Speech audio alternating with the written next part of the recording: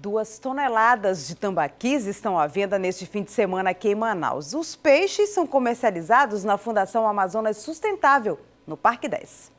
Fila longa para tratar o peixe e, é claro, muito tambaqui à venda. Isso porque para este fim de semana serão vendidos aqui na sede da Fundação Amazonas Sustentável duas toneladas de pescado.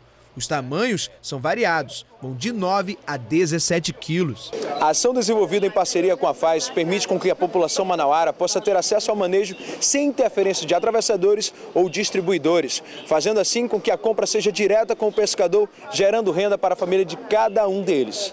Porque antes a gente trabalhava lá, passava pelo atravessador para passar no, uma, duas pessoas para chegar aqui. E hoje está tá nessa essa vantagem porque a gente já está trazendo direto para o consumidor. Além da venda de tambaqui manejado, amanhã a Fundação promove a tradicional feira de domingo com produtos da agricultura familiar. Desde gastronomia, artesanato, né, variedades, vai ter brechó, feira de brechó também, para quem aí quiser comprar algumas roupas.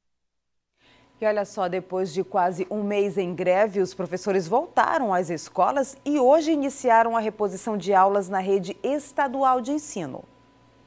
São 27 dias que precisam ser repostos no calendário escolar deste ano.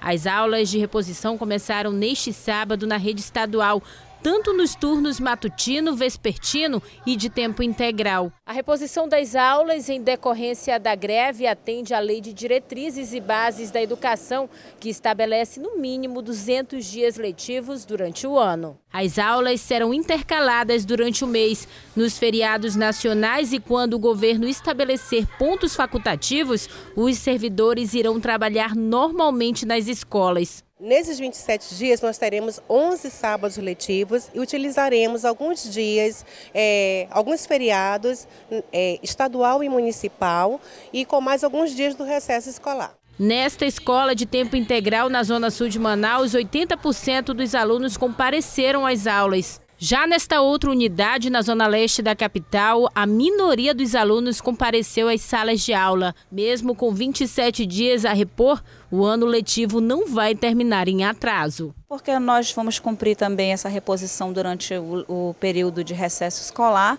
e com isso nós vamos estar é, bem adiantados no final do ano, já preocupados com os nossos alunos do terceiro ano que precisam dessa documentação para estarem aí efetivando suas matrículas na, nas universidades. Os lojistas de Manaus apontaram uma queda de pelo menos 50% nas vendas nesse mês de junho. Agora, o comércio se prepara para o Dia dos Pais. O Dia dos Namorados não foi tão bom assim para o comércio manauara. Este vendedor afirma que a movimentação foi maior no ano passado. De uma forma geral, hora de calçado, lojas de roupa, de forma geral. A falta de segurança no centro também preocupa e afasta os clientes. Pouco policiamento no centro de Manaus e com isso a criminalidade acaba aumentando, né? Os roubos, os furtos também acabam afastando o cliente assim do, do centro. Para reverter a situação, a loja já está trocando toda a vitrine pensando na próxima data em que será comemorado o Dia dos Pais. Estamos recebendo assim mercadoria novas assim, é, mudando assim bastante o nosso a nossa vitrine do ano passado para justamente chamar a atenção do nosso público, nossa, da nossa clientela assim com preços acessíveis, com novas cores, forma de pagamento também, tudo para facilitar a vida do nosso cliente. Um levantamento feito pela Confederação Nacional de Dirigentes Logistas do Brasil aponta uma queda de 0,4% este ano em relação às vendas no mês dos namorados. Em todo o país, os lojistas sentiram a diminuição no número de clientes. Uma outra pesquisa mostra que no mês dos namorados do ano de 2018 houve um crescimento aí nas vendas de até 4% em relação ao ano de 2017. Mas no ano de 2019 o comércio não foi tão favorável. Alguns lojistas tiveram prejuízo. Esta gerente confirma a queda de 50% nas vendas por vários motivos. A crise, eu acho também o policiamento que falta. A zona azul também prejudicou muito, que a pessoa não pode nem botar o carro ali, que demora muito, já tem que tirar de lá.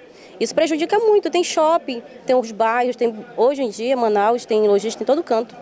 Antes era só o centro. O centro era o centro, né, central de tudo.